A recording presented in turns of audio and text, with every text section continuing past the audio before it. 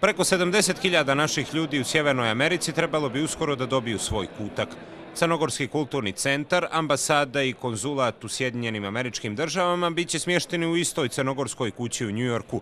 Plan je vlade i crnogorsko-američke fondacije koju su osnovali poslovni ljudi iz dijaspore. Mjesto u kojem se, u kojem bi se u duhu najbolje tradicije građanske i multietničke Crne Gore kreirali i razvijali projekti u interesa za dijasporu i afirmaciju državi među iseljenicima jačala i afirmisala svijest o pripadnosti državi Crnoj Gori. Da bi se kupila zgrada u kojoj će biti Crnogorska kuća, bit će potrebno od 6 do 8 miliona dolara. Vlada će dati 3 miliona dolara, ostatak će se obezbijediti od donacija. Ako ne bude dovoljno, Crnogorsko-američka fondacija uzeće kredit od 2 miliona dolara. Međutim, prvo donatorsko veče sinoć u Njujorku dobro je prošlo. Mnogi su priložili od 500 do nekoliko hiljada dolara.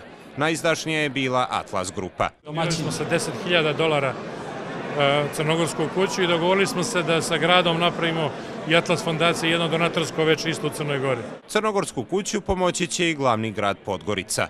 Pa sigurno ćemo odvojiti neku značajniju sumu. Vidjet ćemo kako će biti stanje u budžetu do kraja ove godine. Ukoliko nam bude nekog ozbiljnijeg prostora, planirali smo da to uradimo kroz jednu budžetsku stavku za 2012. Osim poznatih ličnosti iz Crne Gore na skupu u Njujorku, obrela se i poznata svjetska i naša umjetnica performansa Marina Abramović. Ona kaže da će pomoći otvaranje Crnogorske kuće svojim dijelima. Moji radovi su mogu da se prodaju između 30 do 150 hiljada eura, tako da može da bude pomoć. Poruku podrške imao je i premijer Igor Lukšić.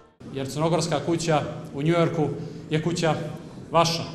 Dakle, u njoj nema gostiju. U njoj smo svi domaćini. Na oduševljenje iseljenika, od kojih je većina iz Plave i Gusinja, Lukšić je obećao da će uskoro biti završen put od tih mjesta do Podgorice preko Albanije, čime će taj kraj biti nikad bliži glavnom gradu.